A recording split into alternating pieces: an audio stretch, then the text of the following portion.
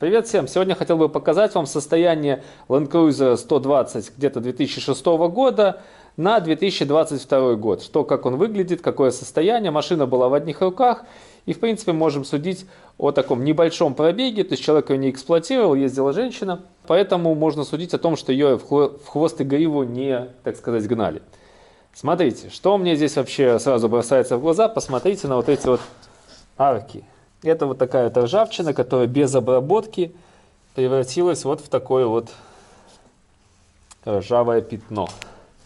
То же самое видно здесь, на этой арке.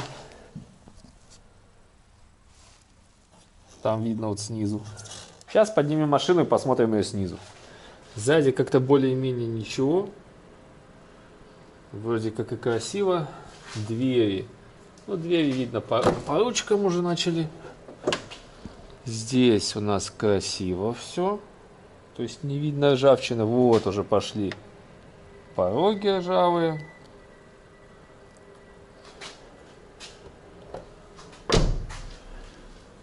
Дальше открываем.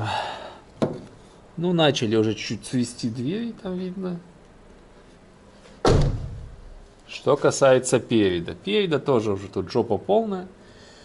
Вот здесь вот все ржавое. Тут пистоны ржавые. Ну, то есть то, то, что ржавая сама по себе рама, это уже понятно. Болтается привод а, подвески пневматической, жесткости регулировки. Там он все ржавое. Тут все ржавое. Ну, в общем-то, вот, вот такая вот машинка. Сзади по аркам еще ничего. Сейчас посмотрим. Двери.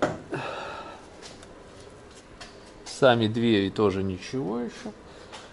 Здесь уже начинается жопа. Это...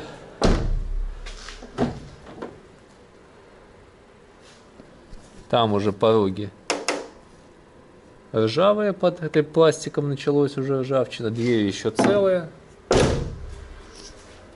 А поднимем снизу посмотрим. Смотрим состояние кузова. Ну, я бы сказал, что это пиздец на самом деле. Потому что кузов ржавый в хламину. То есть никакого антикора не было. Вот так выглядит 120-й крузак года 2006. Амортизаторы, которые вообще вата. Там вот дальше видно кузов. Второй амортизатор такой же. Тут что-то отвалилось.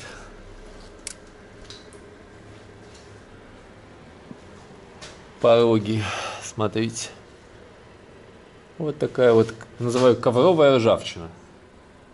Вот что с этим делать? Песка струить. Рама еще только начинает. Ну, защита хрен с ним. Но вот что касается самого кузова, конечно, это жопа. Вот такая вот. 120. Там кто-то говорил, что Маравчик не слишком хорошо выглядит. Он охуительно выглядит, если сравнивать с этими машинами. Рама, ну рама еще походит, рама-то вся защита гнилая. Вон. Подарками видно все гнилое.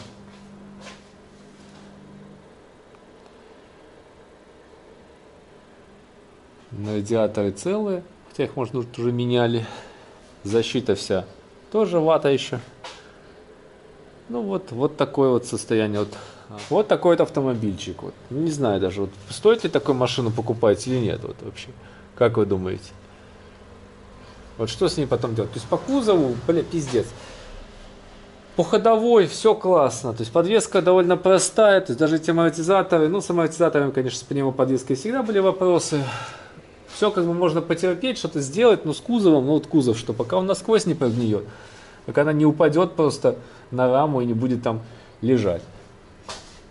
Поэтому обычно я не рекомендую покупать машины 2006 э, до 2010, лучше до 2012, и уже если брать или действительно искать старый автомобиль с более хорошим, э, ну, с более хорошим состоянием, или же более свежий автомобиль тоже в более хорошем состоянии. Но, как бы, в принципе, когда человек сидит в салоне, он всего этого не видит.